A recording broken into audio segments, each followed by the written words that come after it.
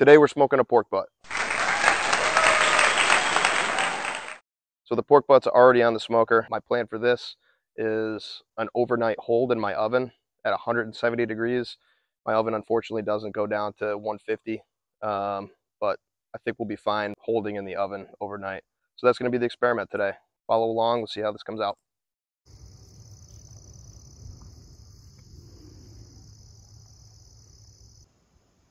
For this cook, I have a nine pound bone in pork shoulder.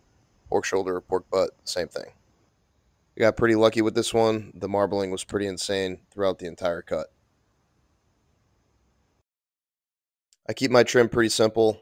I don't go crazy with it. I just take off some of the waxier fat throughout the exterior.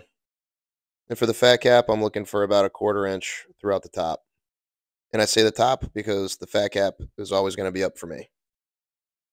I always score my fat caps.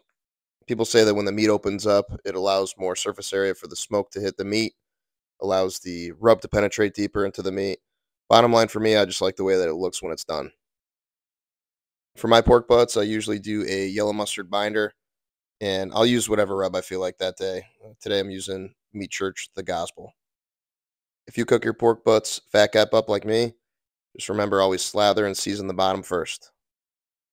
Don't be shy with your seasoning and hit all sides. I have my Patriot Pit set to 225 degrees, and I'm going to place the pork butt on right in her sweet spot. Far away from the firebox to start, maximize the smoke penetration onto this meat.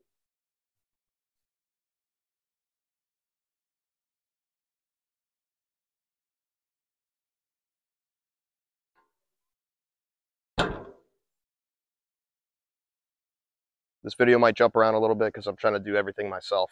I don't have my videographer with me today, my wife. So this is the first time I'm trying to use props in order to film myself, which feels very stupid.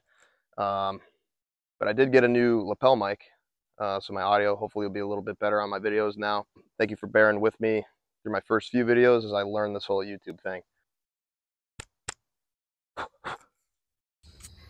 Two hour check-in here. I did add a water pan here. I usually, for the longer cooks, just throw a water pan in here, keep a little bit of moisture inside the cooking chamber. I could tell that the rub has set in nicely, and so this is the point that I'm going to start to spritz my pork butts. I usually do not wrap at 165 like most people. I'll take it a little higher uh, 175, 180 internal temperature with a really nice bark on before I wrap.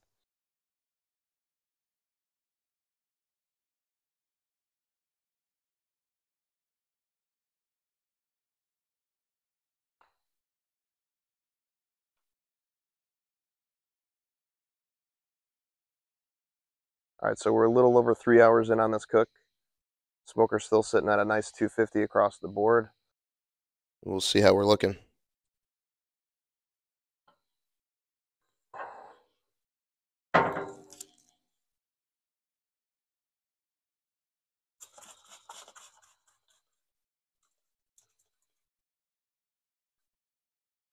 The other thing I'm going to do is just rotate this too. The reason for the rotation, I just don't want one side to get blasted by the firebox the entire cook. Uh, spritz that I have here is just 50-50 uh, apple cider vinegar and uh, warm water.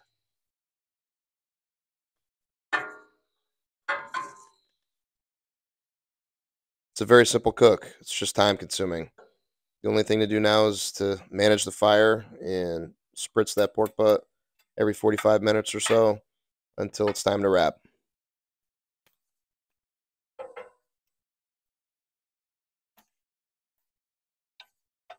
All right, it's a little after midnight here. We're sitting at 175 internal. We got some nice bark on this, so we're gonna wrap.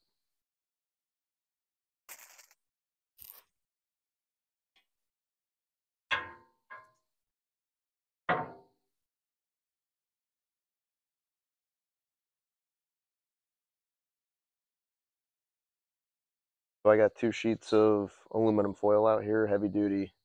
Um, so what I do is I just spray top layer I'm going to take this out. I'm going to use a spatula just to be careful. I don't want this pork butt to fall apart. So just be careful taking it off the smoker.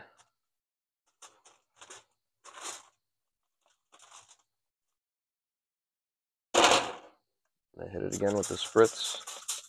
Again, this is just apple cider vinegar and water. We're just going to wrap it up tight.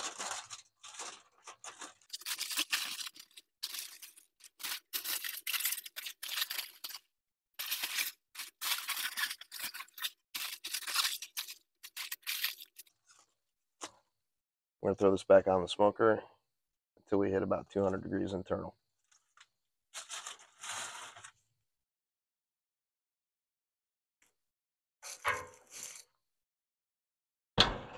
So when this hits uh, 200 degrees, you're probably not going to see me, but I'll check in tomorrow. My plan, once this hits 200, I'm going to let it come back down to about 150-ish degrees internal, and I'm going to try holding in my oven overnight. I've never tried that before. My oven goes down to 170 degrees. Obviously, with a, a warmer holding oven, you're looking for 150, 140, um, but we're going to try 170. We'll check back tomorrow morning and we'll see how this pork shoulder comes out. The total time of this rest in my oven at 170 was 12 hours. The only thing I did that I forgot to record was at about 6 hours and 10 hours I ladled some of the juices that are in the bottom of the foil pan right on top of the bark just to keep that nice and moist. This thing is looking real good and smelling absolutely incredible.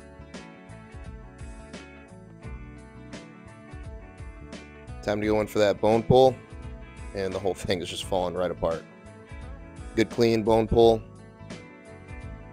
The meat is still nice and warm. You can see it's steaming here. And shreds like butter.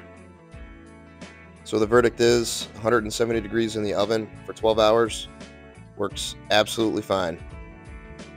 The pork's not overcooked at all. It's still got a lot of moisture in it. It's definitely a little bit softer than a traditional pulled pork that's resting for two or three hours. But that's not something your guests are going to notice or that's going to change the flavor of this pork, in my opinion. This drizzle right here is a chud hack. It's the first time I tried it. Apple cider vinegar with a little bit of hot sauce mixed into the shredded pork. I'll be doing this from now on for all my pork butts. The flavor was absolutely incredible, not overpowering. You add just a little bit. That little bit of flavor with the smokiness of the pork, you cannot miss. I hope this video was useful, and if you ever want to get a little bit of sleep, or if you're in a pinch and you're not serving your food for a little bit, try your oven. If it doesn't go lower than 170, don't worry, give it a shot.